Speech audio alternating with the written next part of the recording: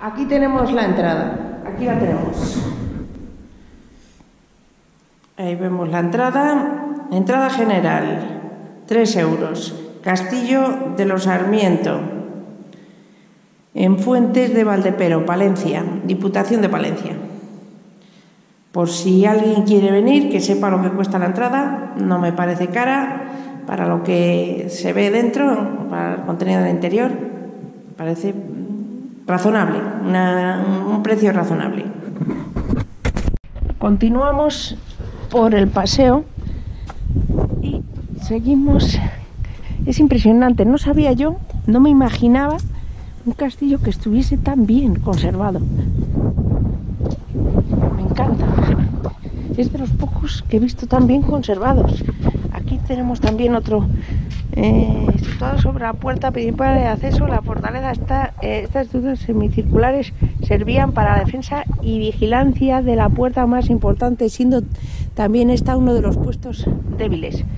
Presentan en su parte inferior una decoración moldurada, lampeta, típica de la llamada Escuela de Valladolid y están unidos entre sí gracias a un balcón con matacanes. Estas estructuras contaban con una eh, cubrición de la cual actualmente desconocemos su morfología. Por ello no han sido reconstruidas. Aquí la vemos. Y a esto y aquí tenemos unas vistas espectaculares. Continuamos. Aquí vemos parte del castillo. Continuamos por el paseo.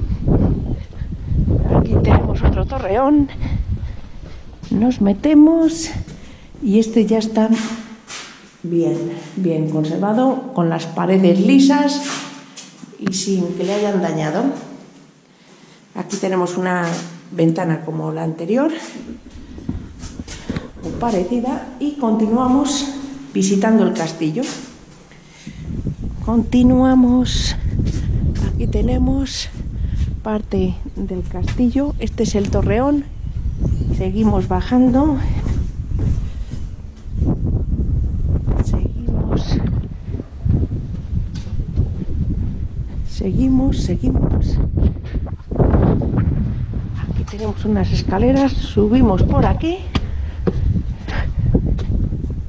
Y vemos parte del patio de armas. Y aquí encontramos Palacio Tardogótico.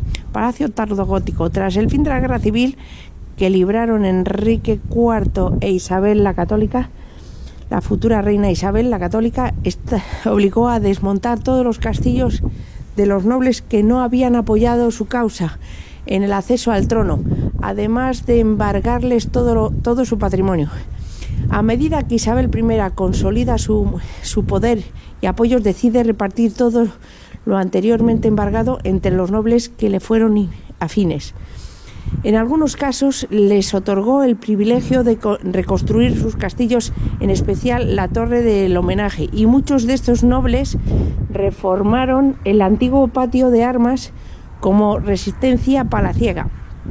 Otros señores optaron por construir este tipo de palacios en el centro urbano de la villa correspondiente. Seguimos por el castillo y seguimos visitando todo lo que contiene. Seguimos por aquí, que no sé qué nos encontraremos. No, pero esto es la bajada otra vez. Volvemos, damos la vuelta y seguimos subiendo. Seguimos subiendo. Seguimos por las escaleras. Aquí tenemos una ventana. Seguimos subiendo. Seguimos subiendo por las escaleras.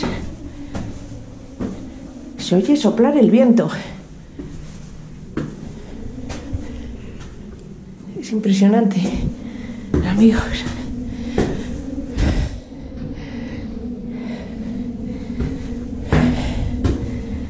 Vimos cómo sopla el viento.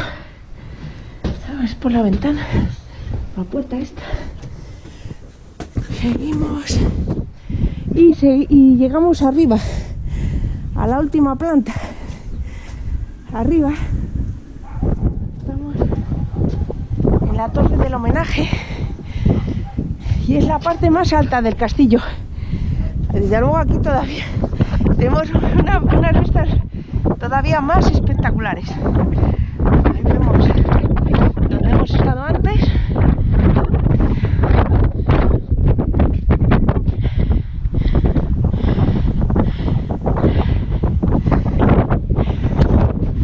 Y estas son las vistas que tiene, que son espectaculares.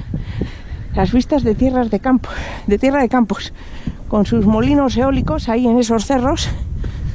Y vamos a recorrer lo que es todo esto. Mira, estas son las bolas de los cañones, posiblemente. sea, este es uno de los torreones, uno de los cilindros de la fachada.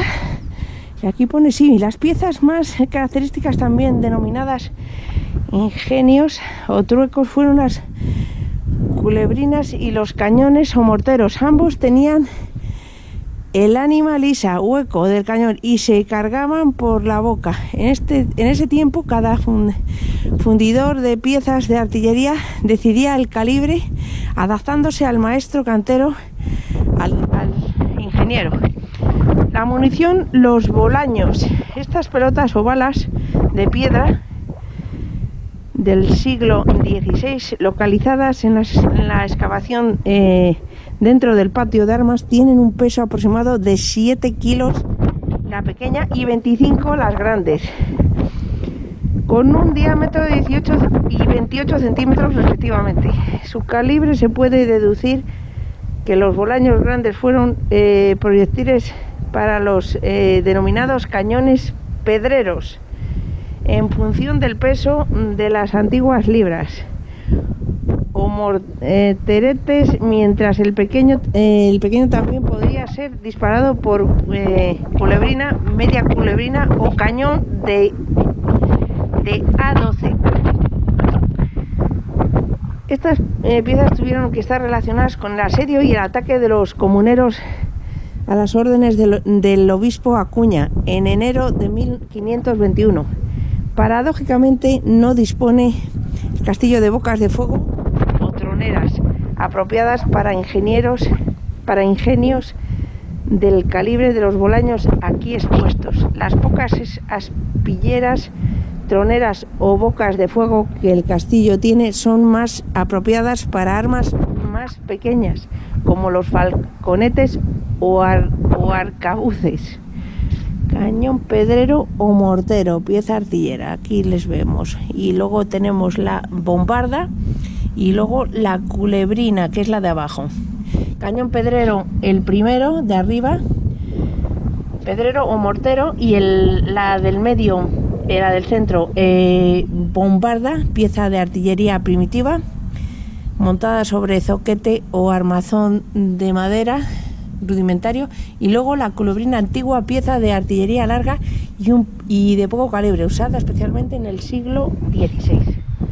Vamos a seguir recorriendo la terraza del castillo, o sea, la, la terraza del,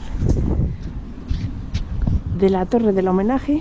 Ahí vemos la iglesia del pueblo y seguimos recorriendo la terraza de la torre del homenaje. Aquí tenemos parte y seguimos. Seguimos. Hay unas vistas impresionantes.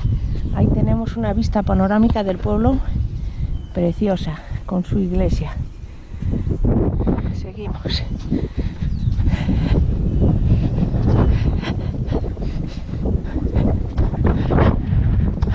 Seguimos visitando lo que es la terraza de la, de la torre del homenaje. Hipoteca reconstrucción de la torre según la escuela de Valladolid.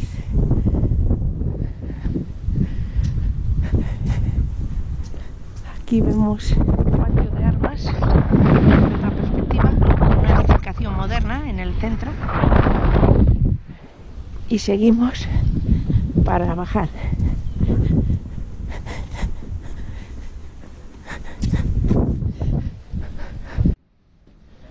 Y llegamos a la cámara superior. La, la cámara superior, que aquí es donde se encuentra la exposición de Plastihistoria de Palencia. Se ve representada por figuras de plastilina. Cámara superior. Por lo visto, esta sala fue eh, la más castigada por las inclemencias del tiempo y para ello eh, y por ello la que precisó de más eh, restauración, de más restauración. Su techumbre se derrumbó sobre la propia sala, dejándolo, dejándola a la intemperie durante cientos de años. O sea que daros cuenta que todo esto está reconstruido porque se quedó a la intemperie. Todo esto no es, lo, no es el, el tejado original sino que está todo reconstruido. Vemos que ahí hay una ventana, pone mentidero. Se supone que aquí venían a contarse sus cosillas, también llamado cortejador, espacio donde encontramos un pasillo que da acceso a una ventana con bancos corridos eh, a uno o ambos lados de la misma, cuya funcionalidad sería la de, lugar de reunión para conservar, observar el entorno, incluso tejer a la luz del día. Desde luego sí que es acogedor. Fijaros, daros cuenta que muros, eh, qué muros eran tremendos. Esta aquí es donde se sentaban y tejían, conversaban, observaban, contemplaban el paisaje, o sea que una maravilla. Continuamos por el castillo.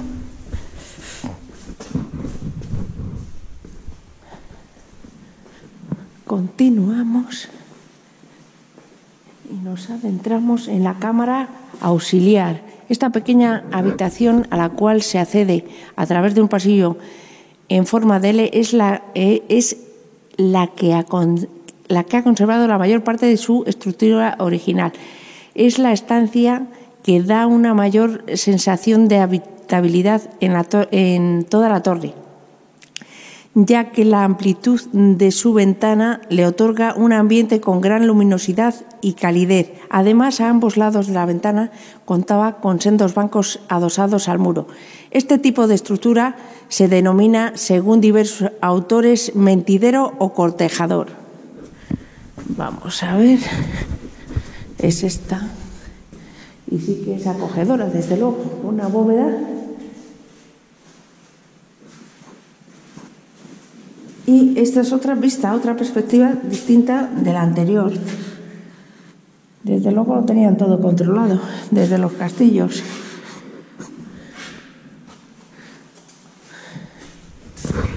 Continuamos.